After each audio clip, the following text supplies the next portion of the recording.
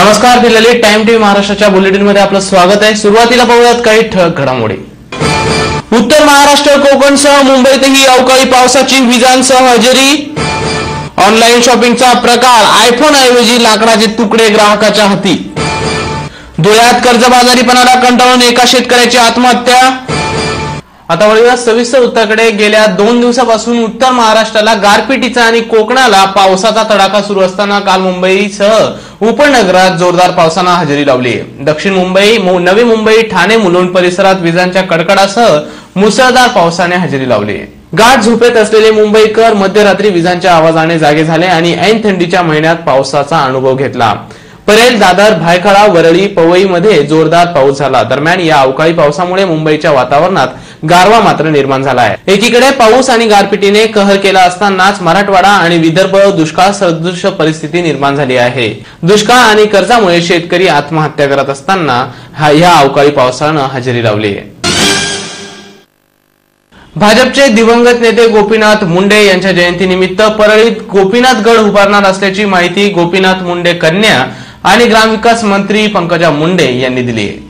मुख्यमंत्री देवेंद्र फडणवीस यांच्या उपस्थितीत स्मारकाचंही भूमिपूजन करण्यात आलं. गोपीनाथ मुंडे यांचे विचार जिवंत राहावे यासाठी परळीत गोपीनाथ गड उभारण्यात येणार आहे ज्यामध्ये ग्रंथालय ध्यान मंदिर ऑडिटोरियमचा समावेश असेल. दहा एकर परिसरात हे स्मारक करणार असल्याची माहिती पंकजा मुंडेंनी सांगितली.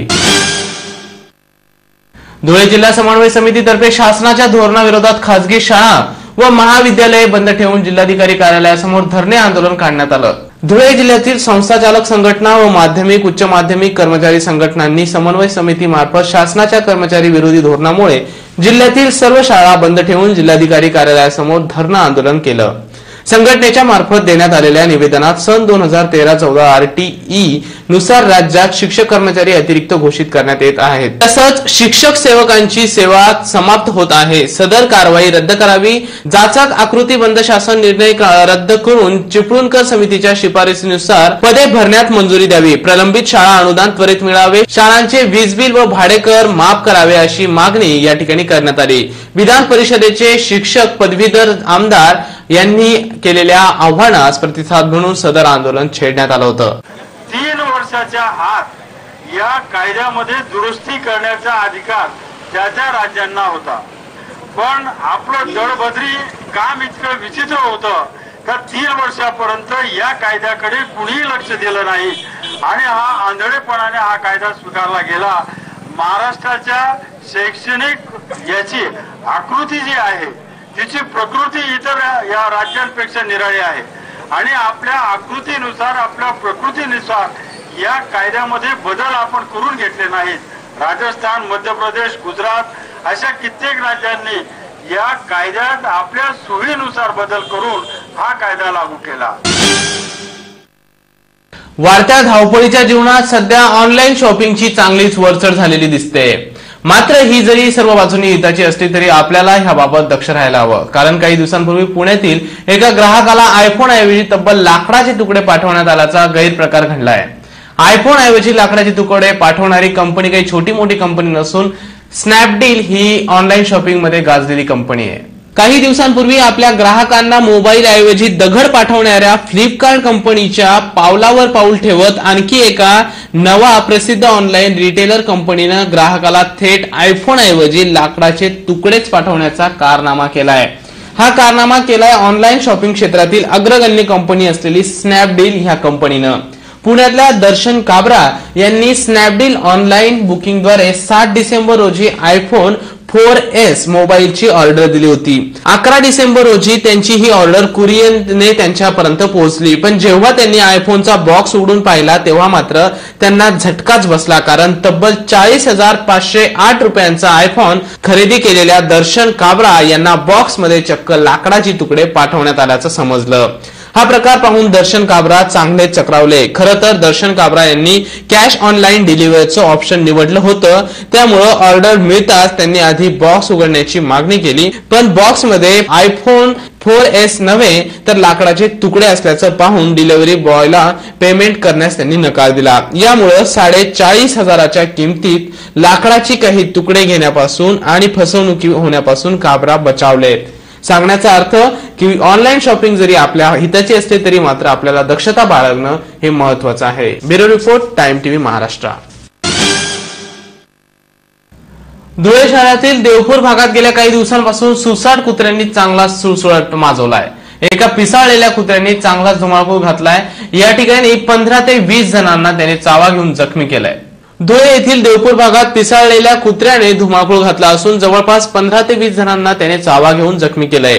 यामध्ये लहान मुले पुरुष स्त्रिया यांचा समावेश आहे. यात वेतन बारेला सागर वाघ अक्षय अंगोने मोनाली मोराणकर सुपडू पाटील राम लाडे मीना देवरे आदी वीस जणांचा समावेश आहे. या सर्वांवर जिल्हा शासकीय रुग्णालयात उपचार सुरू आहेत. सदर घटनेमुळे महापालिकेच्या कारभाराविषयी संताप व्यक्त करण्यात आला आहे. मोकाट कुत्र्यांचा ताबडतोब बंदोबस्त करण्याची मागणी जनसामान्यातून होताना दिसते. जी पिसाळलेली काही कुत्री आहे किंवा जी कुत्र्याची संख्या वाढते आहे त्याच्यावरती नियंत्रण करणं गरजेचं आहे. आज या ठिकाणी पंधरा ते वीस लोकांना पिसाळलेला कुत्रा चावलेला आहे. आणि जखमा खूप मोठ्या आहेत. त्यामुळे तो खूप पिसाळलेला कुत्रा आहे. तर माझी विनंती राहील की महानगरपालिका आणि संबंधित एजन्सींना की त्यांनी कुत्र्यावरती नियंत्रण करावं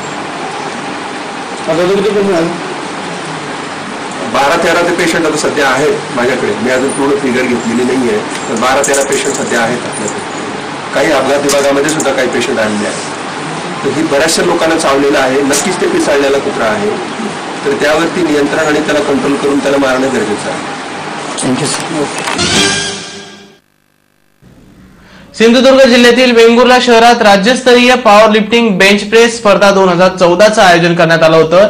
सामाजिक कार्यकर्ते पुष्कराज कोले यांच्या वाढदिवसानिमित्त वेंगुर्ले या ठिकाणी बारा व अकरा डिसेंबर रोजी ही स्पर्धा चालू होती. या स्पर्धेत राज्यातून जवळपास साडेचारशे वर स्पर्धकांनी आपला सहभाग नोंदवला.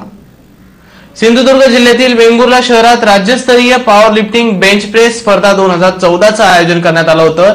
सामाजिक कार्यकर्ते पुष्कराज कोले यांच्या वाढदिवसानिमित्त वेंगुर्ले या ठिकाणी बारा व अकरा डिसेंबर रोजी ही स्पर्धा चालू होती. या स्पर्धेत राज्यातून जवळपास साडेचारशे वर स्पर्धकांनी आपला सहभाग नोंदवला.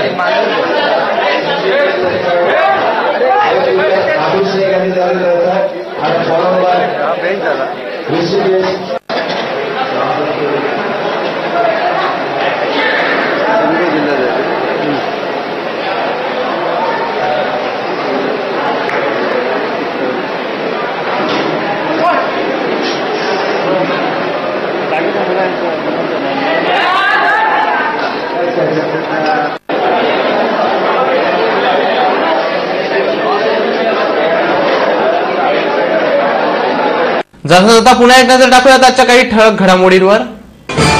उत्तर महाराष्ट्र कोकणसह मुंबईतही अवकाळी पावसाची विजांसह हजेरी. ऑनलाईन शॉपिंगचा प्रकार आयफोन ऐवजी लाकडाचे तुकडे ग्राहकाच्या हाती. धुळ्यात कर्जबाजारीपणाला कंटाळून एका शेतकऱ्याची आत्महत्या. आणि याचबरोबर हे बातमीपत्र संपलं. पुन्हा भेटूया नवीन बातमीपत्रात तुम्ही पाहत राहा फक्त टाइम टीव्ही महाराष्ट्र. अचूक वेळ खरी गोष्ट. नमस्कार. 我不懂，我不懂。